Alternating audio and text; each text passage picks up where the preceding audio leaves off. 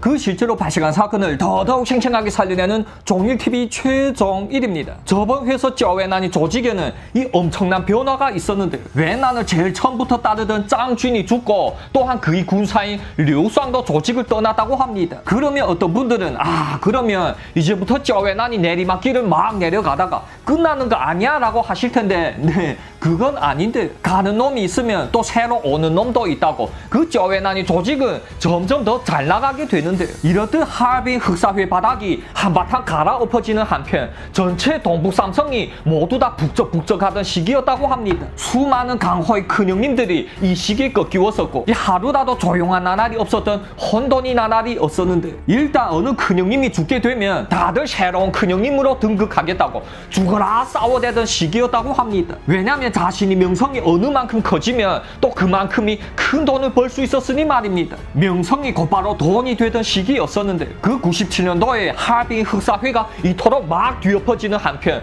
멀지 않은 곳이 장춘시는 더더욱 어지러웠다고 합니다. 우리 한국 분들은 중국이 지리에 대해서 잘 모르시겠는데 제가 잠깐 설명을 드리겠습니다. 흥룡강성이 소재지는 하얼빈시인데 이거 한국으로 치면 충청북도청 소재지 청주시랑 이 같은 등급이 도시인데 동북 삼성이랑 흥룡강성을 빼고 또 길림성도 있는데 길림성이 소재지는 바로 장춘시라는 거죠. 하여 하얼빈과 장춘시는 이 완전히 다른 성 안에 있는 같은 등급이 도시인데 또한 동북 삼성이라면 흥룡강성과 길림성을 빼고 련영성이 있는데 이 련영성이 성 소재지는 바로 심양이라고 합니다. 이 심양시에 누가 있었죠? 네, 바로 유덕화한테 모욕감을 줬었고 하마터면 유덕화를 이 묻어버릴 뻔한 류용이 있잖아 요. 이렇게 하얼빈시는 지금 쩌웨난이 쫙 주름 잡고 있고 심양시도 류용이 쫙 장악하고 있는데 그러면 나머지 하나 이 장춘시가 남아 있는데 네 장춘시에는 누가 있었죠? 전에까지만 해도 순스센이 강바즈로 막 날아다녔었는데 97년도 2월에 그만 암살당했거든요. 아무리 잘 나가는 조폭 두목이라 할지라도 그 숨어서 땅땅 하고 암살을 하는 걸 막을 수가 없었다고 하는데 순스센이 암살당하자 전체 장춘시 흑사회는 그야말로 대혼란에 빠지게 되었다고 합니다. 순스센한테 눌리워서 이 조용하게 지내던 량쉬 동이 발광하기 시작했다고 하는데 순워저 창, 니워저 왕이라고 나를 따르며 사는 거고 조금이라도 거슬리면 가차없이 죽여버렸다고 합니다. 하여 원래 장춘시에서 이 넘버 3 위용칭이 제일 크게 압박을 받았고 매일마다 그냥 무리 싸움이 일어났다고 하는데 이 사회가 어지러우면 어떻죠? 이러할 때 이 새로운 세력들이 우후죽순 막 생겨나는 게 아니겠습니까? 서로 나와 바리를 조금이라도 더 먹겠다고 죽어라 싸우대던 시대였다고 하는데 하지만 이번 이야기에서 장춘시 대표는 누구죠? 네 바로 전에 나왔었던 타짜왕 쪼산이 아니겠습니까? 그럼 이 시기에 쪼산이 처지는 어떠했을까요? 네 맨날 헤헤헤 거리며 다니다가 야 이놈아 하고 귓바망이를 후려가기면 할쿠 하고 냅다 도망을 쳐야 하는 아주 불쌍한 꼴이었다고 합니다. 지금은 맨날 이리저리 얻어 터지고 다니지만 여러분 나중에는 말입니다. 하얼빈이 쩌웨난과 이 심양의 류용과 어깨를 나란히 할 수 있는 장춘시 강바즈도 된다고 합니다. 쩌사는 비록 이 쩌웨난처럼 싸움을 잘하든가 아니면 류용처럼 이 세력이 센 건 아니지만 말입니다. 쩌사는 주로 이 돈으로 한다고 합니다. 비록 지금 맨날 이리저리 얻어맞고 다니지만 10억 위에는 모았다고 하는데 네, 그 97년도에 한화로 1,800억 원이라뇨. 그러면 이놈이 자신이 나와 바디 도 없는데 대체 뭘로 돈을 모았을까요? 네, 이 쩌사는 타짜왕이잖아요. 자신이 자그마한 하우스도 하나 장만했었고 여러 도박장에서 딴 게 이렇게 되었다고 하는데 물론 나중에 쩌산이 진짜로 크게 되는 때에 비하면 아직 세 발의 피밖에 안 되지만 말입니다. 여러분 이 타짜 세계에서 무적이 되게 되면 어떤지 아십니까? 네 그러면 그냥 남는 거는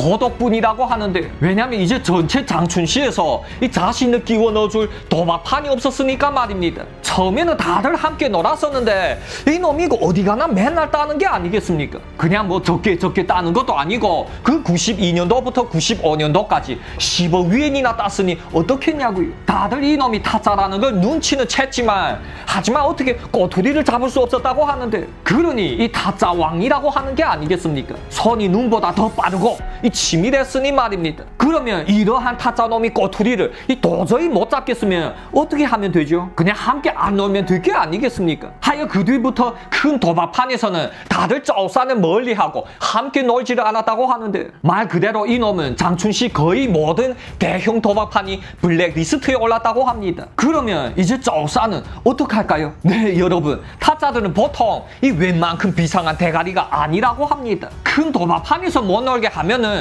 작은 도박판으로 가서 놀면 되지. 하지만 말입니다. 이 규모가 작은 도박판도 돈이 적게 나드는 건 아니지만 아무나 막 들어가서 놀수 있는 건 아니라고 합니다. 무조건 면목을 아는 사람들끼리 보증을 서고 이 서로 소개를 해줘야 들어갈 수 있었다고 하는데 물론 그러면 또 쪼싸니 이름을 대고 들어가게 되면 다들 쫓아버리겠죠. 그러면 어떡할까요? 네, 이 쪼싼 이놈은 그 자신한테만 딱 맞는 한 가지 계략을 생각해냈다고 합니다. 그는 자신 이 도박 중매인들을 키우기 시작했다고 하는데 그러면 이러한 도박 중매인은 어떻게 키울까요? 그가 제일 처음에 키우기 시작한 거는 룸사롱의 아가씨들이었다고 합니다. 아가씨들을 꼬셔서 여러 다른 룸사롱에 가서 몸을 팔게 하는 거죠. 이러한 룸사롱 같은 데는 떡장사도 하긴 하지만 보통 다 그들만이 도박판이 따로 있다고 합니다. 돈이 좀 있는 손님들이 떡 치러 와서 이 철썩철썩이 한 판 끝나면 그 다음에는 뭐 하겠습니까? 자신이 두 번째 총알 이 장전될 때까지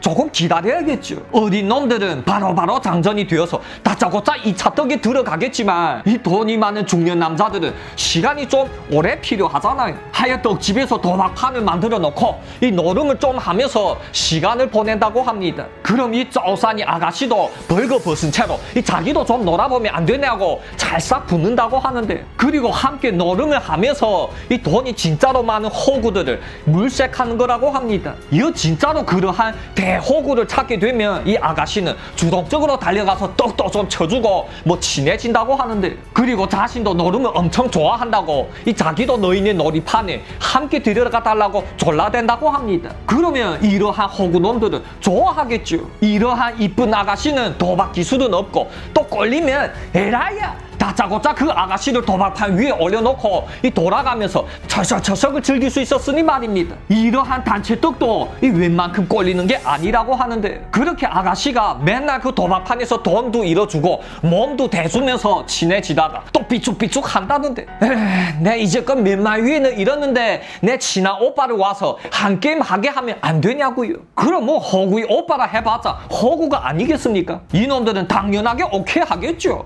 그 다음에 저 오산이 헤헤헤헤 거리면 나타나서는 자신이 이름을 속이고 들어간다고 합니다. 이어 이러한 피레미드 돈을 따는 거야. 뭐 난이도가 있겠습니까? 더도 말고 한 몇백만 위안만 따고 떠난다고 하는데 짜오산은 이러면 이 보통 중매인한테 40%를 떼어주고 자신이 60%를 먹는다고 합니다. 더도 말고 100만 위안이라고 해도 이 아가씨는 40만 위안이나 먹을 수 있겠는데 그 집이 한 채가 5만 위안이던 시절에 이 40만 위안이면 몸 파는 아가씨한테 저한테는 어마어마한 돈이 되겠죠. 그럼 왜서 이렇게 많이 주냐고요? 네, 지금껏 제가 얘기했던 게 말이 쉽지. 그 중매인들한테는 거의 다 적어도 반년이라는 시간이 필요하니 말입니다. 아가씨가 돈이 많은 호구를 찾는 것부터가 문제고 이 시간이 많이 필요하잖아요. 그 다음에 친해지는 것도 시간, 먼저 돈을 져주는 것도 돈과 시간이 필요하니 말입니다. 이젠 그 누구도 쪼우상과 놀겠다는 사람이 없으니 이러한 수단을 만들어낸 거라고 하는데 이는 첫 번째 단계 중매인이고 더 높은 단계 중매인도 따로 있었다고 합니다. 그건 바로 타지에서 이 물색하고 있는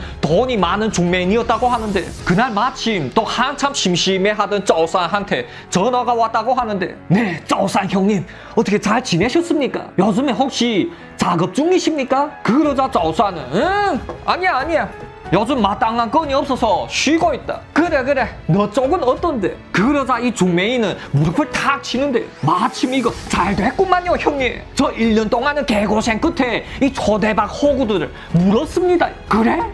그게 어딘데? 짜오사는 이 아무 지역에나 마구마구 다니지는 않았다는데 또 그쪽에 놈들이 돈을 잃었다고 이 때려놓으면 어떡하겠습니까? 안 그래도 맨날 얻어 터지는 짜오산인데 말입니다. 형님 안 그래도 저 멀리도 안 가고 여기 할빈에서 작업했습니다. 저 여기서 1년 동안은 노예처럼 수발을 들어서 겨우 판에 들어올 수 있었습니다. 형님 이꼭한좀 따주세요. 그래 할빈이라. 하얼빈이라면 무서운 게 없겠죠. 난강의 쪼웨난이 그렇게도 날아다니다고 하지 않습니까? 저번에 쪼웨난을 도운 게 있는데 뭐가 두려울 게 있겠습니까? 알았다. 내 간다. 짜오사는 흰색 캐딜락 리무진에 척 앉아서 출발을 하였다고 하는데요. 이 캐딜락 리무진은 그 당시에 전체 장춘시에 딱 두 대밖에 없는 거였다고 합니다. 그 중에 한 대는 나중에 그의 뒷배경으로 되는 한 대기업 회장이 것이었었고 다른 한 대는 이 짜오산이 타고 다녔다고 합니다. 그만큼 짜오산은 이미 장춘시에서 이 내노라 하는 부자였었다고 하는데요. 짜오산은 캐딜락 리무진 제일 뒷좌석에 척 앉아서는 다리를 꼬고 있는데 이어 곁에 와인 냉장고에서 와인 한 잔을 척 따라서 빙빙 돌리면서 향을 즐겼다고 합니다. 그리고 여러 견과류에다 이 한 잔을 딱 하고 TV를 시청하면서 하얼빈에 도착했다고 하는데 네, 이놈은 그 쪼웬남과는 달리 아주 그야말로 즐길 줄 아는 놈이었다고 합니다. 이어 하얼빈의 이 제일 고급 호텔에 도착하자 그의 도박 중매인이 하얼빈에 와서 반겨주는데 먼 길 오느라 고생하셨습니다 형님. 그렇게 호텔방에 도착한 쪼사는 먼저 자신이 손을 깨끗하게 씻고 소중하게 마사지를 하는 거였답니다. 이 쪼산이 손은 보통 남자들 손보다 엄청 크다고 하는데 바로 이러한 손으로 마장 게임을 하게 되면 이 보통 사람들은 하나씩 잡고 내잖아요. 하지만 이 쪼사는 한 번에 이 두 개를 잡을 수도 있다고 하는데 또한 그 누구도 모르게 이 깜짝같이 말이죠. 다른 놈들은 한 장씩 고를 때 이 쪼산이 두 장씩 고르니 여러분 누가 이기겠습니까? 또한 그 당시에는 뭐 여자들도 손을 보양하는 미용실 같은 것도 없었는데 근데 이 쪼산이 관리를 잘해서 이 보통 여자들 손보다 더 야들야들하고 새하얗게 관리를 하였다고 합니다. 형님 지금 당장 가서 대박 나 보시죠. 중매인인 알비는 이미 들떠서 막 날뛰는데 그러자 알비나 급하게 먹으면 체한다. 내 쪼사는 원정 올 때 무조건 하루 이틀 쉬어줘야 되거든. 이 내 컨디션이 제일 최고니까 말이다. 그건 됐고 요번에 그 판이 상황이 어떠야? 그러자 형님 이 판이 아주 기가 막힙니다. 뭐 깡패 건달 같은 것도 없고 타짜는 더더욱 없습니다. 다들 하얼빈에서 이 대기업들을 운영하는 놈들인데 몇백만 유엔씩 잃는 거는 뭐 눈 한 번 깜빡 안 하더라고요. 그래?